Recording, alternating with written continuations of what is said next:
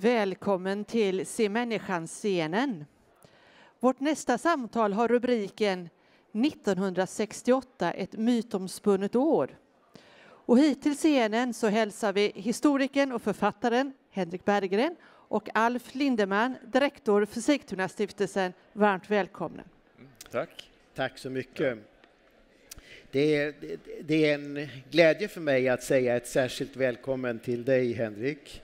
Du är som du har nämnt redan historiker, författare och journalist. Har jobbat på många olika ställen och med många olika saker. Bland annat varit kulturchef på DN mm. under några år. Eh, och du disputerade för över 20 år sedan på en avhandling med titeln Seklets ungdom, retorik, politik, retorik, politik och modernitet 1900 till 1939. Eh, nu har du skrivit en bok om ett lite senare fenomen, 1968. Mm. Eh, men i någon sorts mening så känns det lite grann som att det också handlar om retorik, politik och modernitet. Jag har inte ens tänkt på det faktiskt, men du har helt rätt. Ja. Och någonstans var det faktiskt så att avhandlingen Alltså, avhandlingen handlar om ungdomsretorik i början på 1900-talet. Och det, det, började med att jag av en händelse började läsa olika tidningar från ungdomsrörelser. Och de pratade om ungdom på ett sätt som lät så oerhört bekant från min egen ungdomstid på 70-talet. Och då kom jag på det här att det här med ungdom var ju väldigt intressant. Så att på något sätt så var ju avhandlingen som handlade om första delen av 1900-talet, men det var ju något sånt här att, men vänta nu, det, här, det var inte första gången som man pratade om ungdom så mycket som man gjorde 68. Liksom. Så att, den kopplingen, ja, tack, Nej, det, tack, den, tack för den, att du påpekade det. Ja, den blev uppenbar för mig när jag läste det. Eh, jag måste säga bara att det här var oerhört intressant att läsa den här boken både du och jag är aningen för unga för att riktigt ha stått på barrikaderna mm. då. Samtidigt som det är ett år under vår uppväxttid, mm. under vår barndomstid som, som vi lång har, skugga, lång har, skugga ja, levt med genom alla år. Eh, och det första som jag tänkte på, det, det, det, är att den här boken är väldigt speciell. Ni ser alla vilket format den har. Det är, det är nästan coffee table-format ja. på boken. Bild, eh, bild, jag skriver bilderböcker, säger en del av mina elaka vänner. ja, och det är väldigt stort bildmaterial. Och det som jag upplevde när jag läste den, det var ju att texterna säger jättemycket, men bilderna är också en berättelse i sig. Mm. Och bilderna blir både ett komplement, men också en sorts korrelat ja. till texten. Ja. Att man, man läser texten och man, man ser bilden, jaha, det var det det handlade om, mm. eller jaha, det var så han menade. Alltså, hur tänkte du i själva processen att skapa det här till den här kombinationen av så ja, men det, Jag har ju gjort några sådana här böcker för Max Ström tidigare. Då. Jag gjorde Dag Hammarskjöld och jag gjorde um, en fotobok om Palme och så.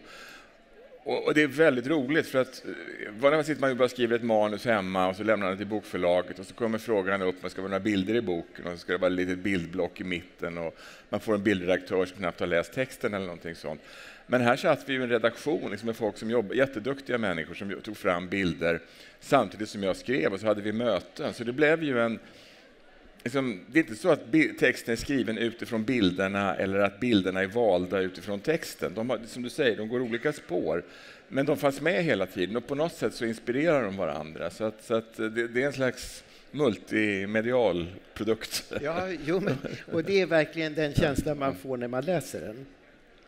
Eh, en jättefråga i den här boken är ju hur verkligheten förhåller sig till det som är vår bild av 1968. Eh, och eh, eh, du berättar i din text om en släkting som då jag antar var aningen äldre än vad du är och frågade henne om hur, hur hon levde och hur det var då. Och det, det, det, hon säger är att hon njöt av friheten, drack vin och gick ut och dansade på nationerna. Ja, det var satt, hennes verklighet. jag satt på mitt studentrum på min veckade kjol, sa ja. hon, och märkte ingenting av det här. Det var i Göteborg förresten som detta inträffade. Jag skulle vilja att du läste några rader ja. eh, från in, inledningen på din bok. Okej, okay, tack. Det är väl med lite försök till att vara provokativ kanske. um, Eh, hon var knappast ensam, det syftar då på min släkting.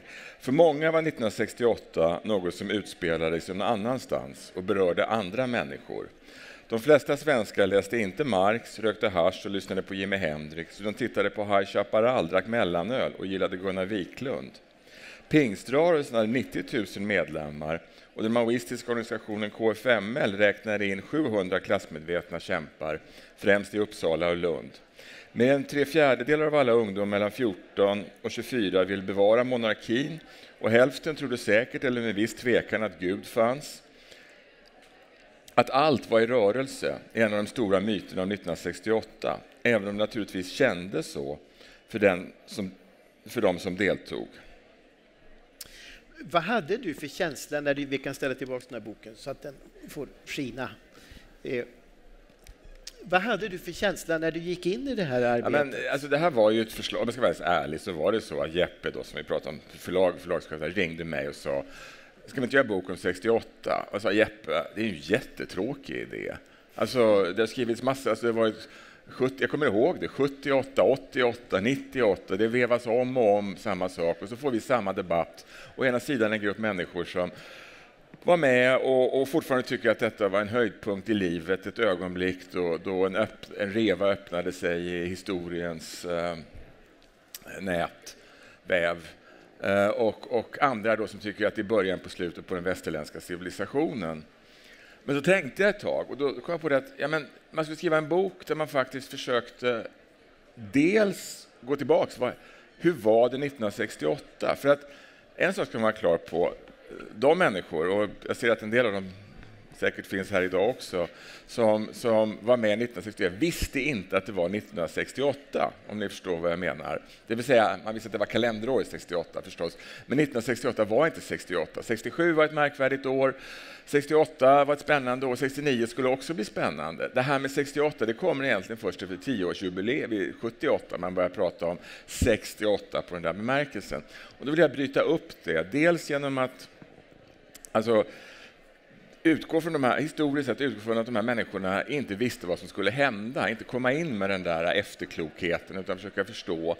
Och sen det andra just var det här att skriva, om, ska, om man ska vara ärlig, boken handlar fortfarande väldigt mycket om de centrala bekanta. Alltså, ni hittar kårhusockupationen, ni hittar Vietnamkriget, FNL-rörelsen och allt detta.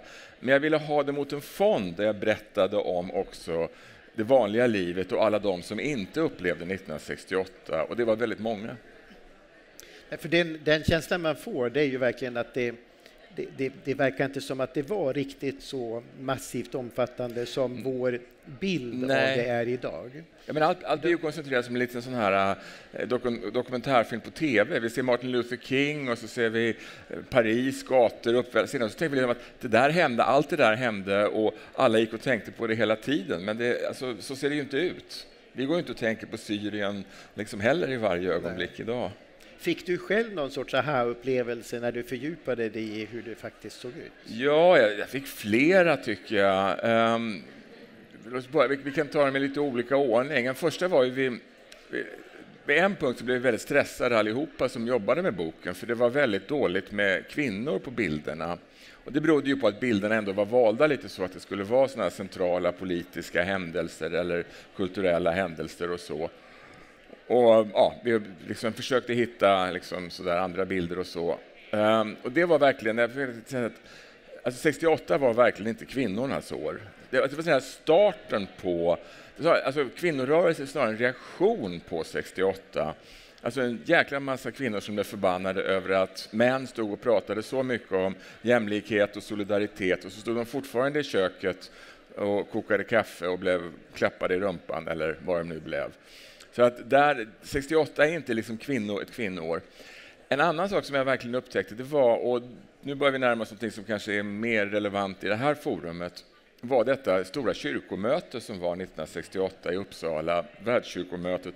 Som jag förstår, för människor som är så att säga, i Svenska kyrkan så är det ett märkesår. Men det har pratats väldigt lite om det eh, runt alltså om 68. Och jag tror att det är två innebörder. Det ena är att det var en väldigt dramatisk händelse. Alltså det var ju bråk och liv, det var massor med ungdomar som krävde att kyrkan socialt skulle ta ställning skulle ta ställning socialt och, och, Martin Luther King skulle ha varit där och inlett det hela och kunde ju inte då komma. Så det var ju väldigt starkt. Pete Seeger var där och det var massor med människor och tv sände.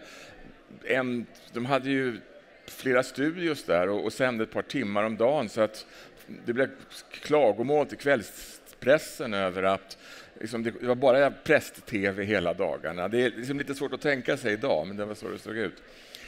Så, att, så att dels var det en stor händelse 68, men sen är det också detta jag började verkligen fundera på de religiösa rötterna till 68. Och det är... Jag tror man måste förstå sig... Alltså, först om man tittar på...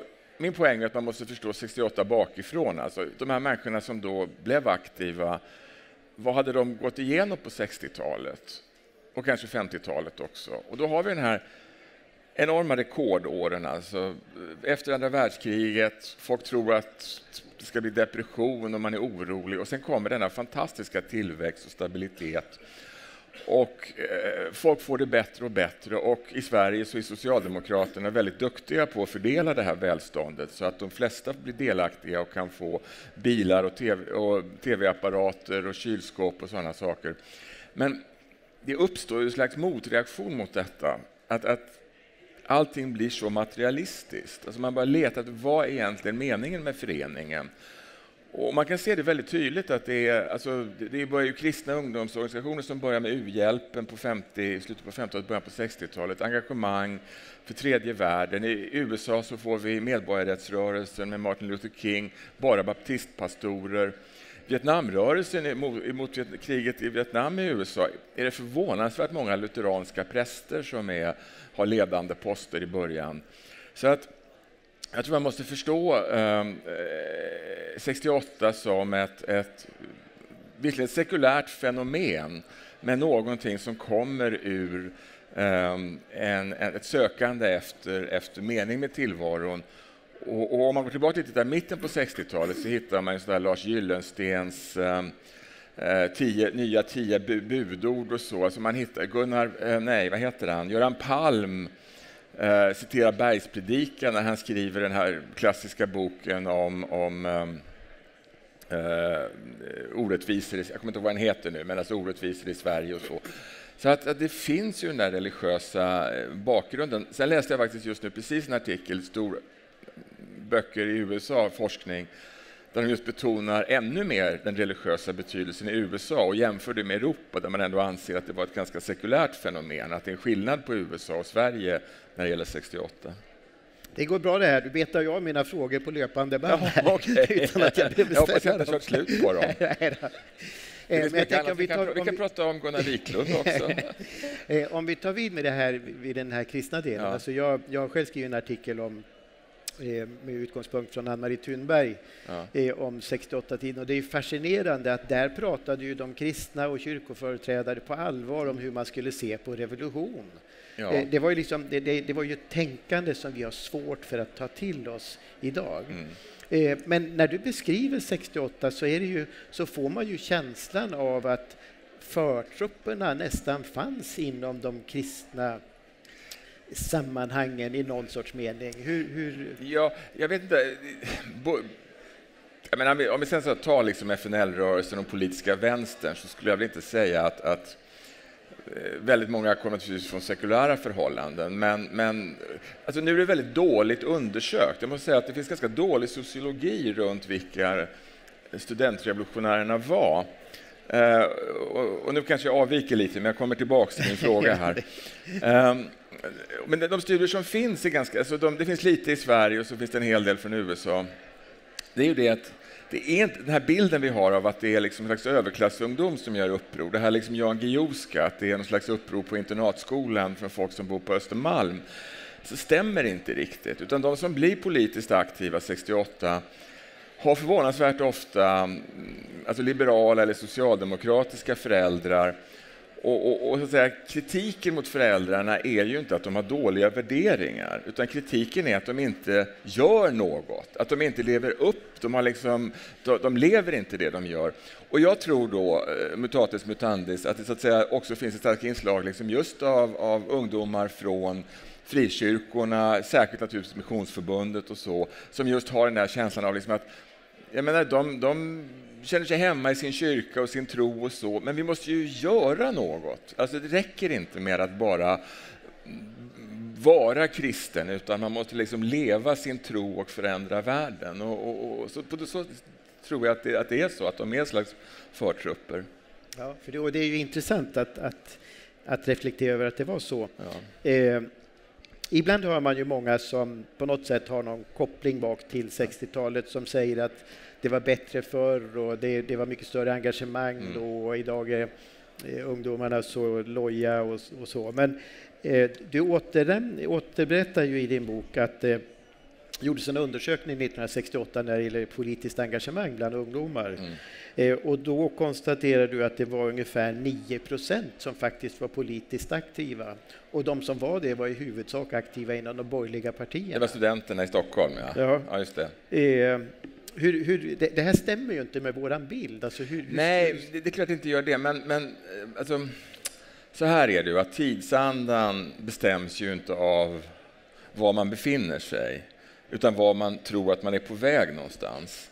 Och, och på den meningen så är det alltid, det kommer alltid tror jag att vara, nu låter jag kanske lite cynisk, men jag tror det kommer alltid vara en liten elit som på något sätt utgör avantgardet och liksom definierar känslan av var hela samhället håller på att röra sig. Ja, men vi har ju det idag, fast från andra hållet. Ja, men det är fortfarande så att på hela taget att, att Sverigedemokraterna inte är... är ja, men de fick de 17 procent och sen kan man liksom säkert tänka att den hårdföra delen av dem är ännu mindre. Eh, kanske 9 procent som 1968. Men det är fortfarande så att eftersom vi andra liksom bara stapplar omkring lite grann och försöker få samhället att fungera och de har en jättestark övertygelse om att lösningen är att vi ska bli eh, totalsvenskar allihopa och så, så får de ett väldigt starkt genomslag. Och det är samma sak för de här studenterna. Alltså det, det, vad som händer väldigt mycket, 67 hade ju varit då ett ganska, det var ju Summer of Love och Peace and Understanding och allt det där. Och sen så kom de här mer krisartade händelserna, alltså eh, skjutningarna, Martin Luther King, det var Tet-offensiven i Vietnam som avslöjade hur totalt ihåligt den amerikanska propagandan var. Och så. Ehm, och då började folk radikaliseras och, och, och, då blev det ju fult att vara liberal. Det var fult att, att säga, vackla, det var fult att se två ståndpunkter, utan det var liksom verkligen det här att liksom, nu måste, det, det är fascism eller kommunism, liksom. det är dags att välja, det finns bara två vägar. Och det har ganska starkt genomslag. Det finns en brittiske poeten Steven Spender talar om radikaliseringsprocessen. Han var i Paris 68 han beskriver det som att det är när du, när du uppfattar det som att den person som står till vänster om dig automatiskt har rätt. Då är du inne i radikaliseringsprocessen. Du känner dig alltid lite mesig för att du inte är tillräckligt vänster. Jag kan tänka mig att det fungerar åt andra hållet också, att man liksom inte är tillräckligt höger i de kretsarna. Liksom. Så det finns ju, alltså människan är ju, vi har ju en dragning till extremism också. Du nämnde redan inledningsvis att en av de här bilderna som vi alla får när vi tänker tillbaka på 68 är kårhusockupationen. Ja. Eh, och du pekar på en sak som, som jag aldrig har tänkt på eh, men, men det borde jag naturligtvis ha gjort. Kårhusockupationen är ju studenter som ockuperar sitt eget ja, hus. Ja. Eh, vilket ju är ytterligt märkligt. Och när jag liksom satte det i relation till hela boken så fick jag en sorts känsla av att det, det faktumet återspeglar lite grann av den här bilden. Det är både ett stort engagemang, ja, ja. men det är samtidigt ett väldigt slutet sammanhang där det sker. Ja. Alltså just det att man, man, man är aktiv, man ockuperar ett hus, men vilket hus? Jo, sitt eget. Ja, precis. jo, och det blir ju väldigt extremt inåtvänt. Jag menar, eh, det där har ju, det tar sig olika former. Jag menar, vi har den här rebellrörelsen som är den här extremt maoistiska sekten som uppstår och som börjar förbereda sig för världsrevolutionen genom att träna på, på Gärdet i Stockholm. Och så flyttar de, alltså, det är inte bara roligt, utan det, det blir väldigt obehagligt. De flyttar ihop i lägenheter i Stockholm och Uppsala eh, där man liksom då måste säga upp bekantskapen med föräldrar, liksom ringa upp och säga att man mm, tvår sin, sina borgerliga rötter och, gör upp, och tar avstånd från reaktionärerna. Man placerar om barnen ifall de har barn och så. Det är ganska traumatiskt för en del människor. Men just det där du säger om att det liksom vänder sig inåt sådär. Det som är bra med rebellrörelsen är att de blir inte Baader-Meinhof. Jag menar, Baader-Meinhof börjar ju liksom rikta sig utåt och spränga och sådär. De här människorna, tragiskt nog, riktar sig inåt och förgör sig själva. Så att det är det där liksom, att det händer i en, inom en ganska liten och det är ganska roligt att prata om boken så kan det bli ganska... Ibland, vi hade jätteroligt liksom med, med publiken och så var det en man som sa jag förstår precis vad du menar. Alltså jag, höll ju bara, jag seglade ju bara, jag är ju segelfanatiker. Jag märkte inte ett dugg av att det hände någonting 68. Och så var det en kvinna som, som, som sa att jag förstår inte vad du menar. Jag menar, alla var ju med. Jag kommer ihåg det här, jag gick på Socialhögskolan. Vi pratade alla politik. Då tänkte jag, ja, just det. Jo, så är det. Liksom. Där sitter ni i era olika världar. Det finns ju så många saker som vi inte hinner ta upp. Hela ja. beskrivningen, vi är mitt, nu, mitt i en regeringskris i Sverige. Vi kan inte föreställa oss socialdemokratin som etablissemang på det sätt som Nej. du beskriver. Men jag skulle vilja att vi avslutar med en kort fråga. Ja. Om du hade varit sju, åtta år äldre, om jag hade eh, varit sju, åtta år äldre, ja. var, hade du, var hade vi hittat dig 1968?